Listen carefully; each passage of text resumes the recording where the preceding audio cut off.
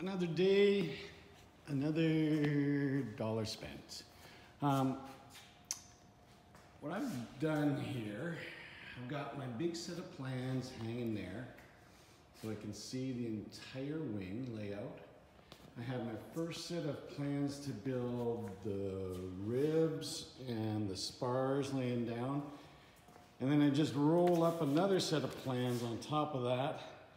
That was for the elevator and the flaps and uh, that next set of plans so I can just roll those out of the way so that I can get back to, I was doing the front false spars.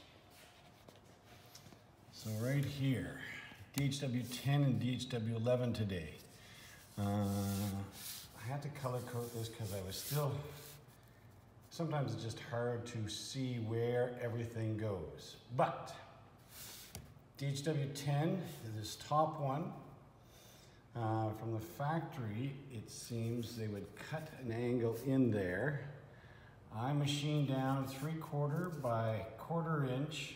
Um, I've got fir. It calls for pine. Um, so I machined that down. Now before I got it down all the way to quarter inch, I cut this groove in there.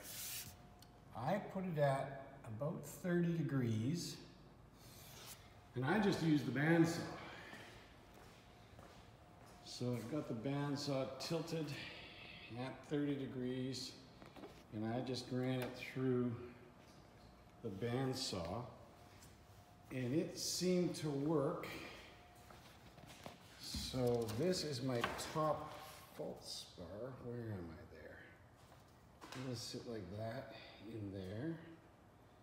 And that's the angle I've got cut in there. So I'm gonna stick that one onto the wing. And then the bottom one, they don't call for an angle. It's straight across. So that one shouldn't be a problem, quarter inch by three quarter inch.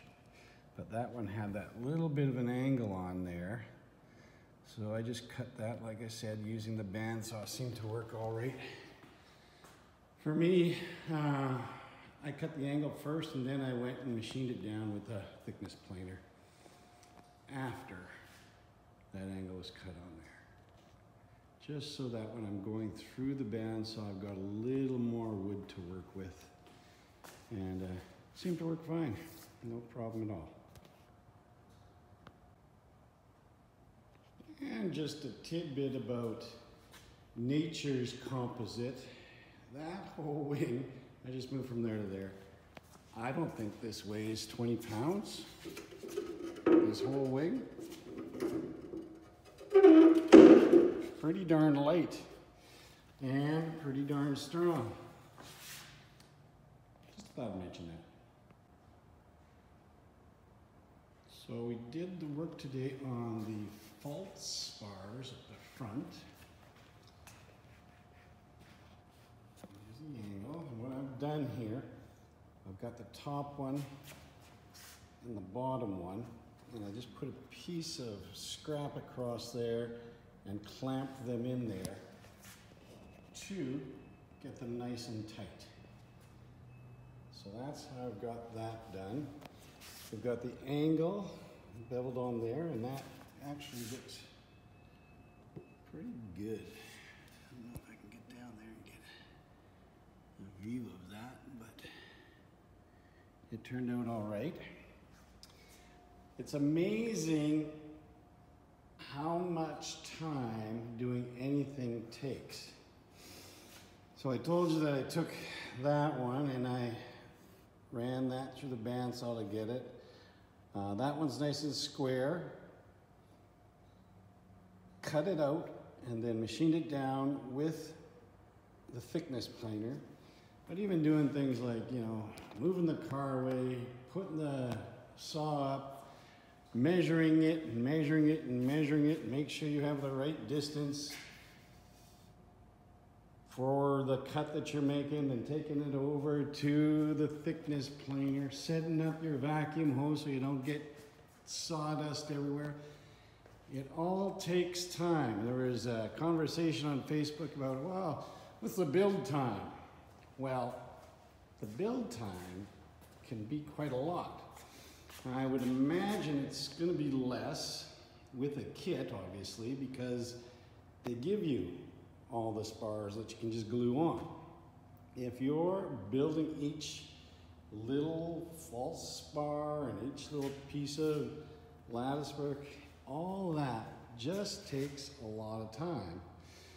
And then there's a lot of time sitting and figuring out what's the best way to do all this work. So uh, I'm keeping track on the EA logbook and we'll see what we get up to and how much it actually, how long it actually takes to do it.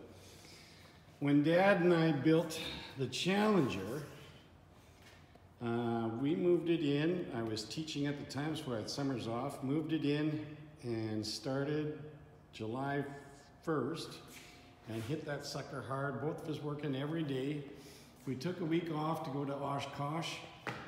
And then other than that, we got about 90% done in two months of working. And that's covered with the coat of uh, UV sprayed on up to that point.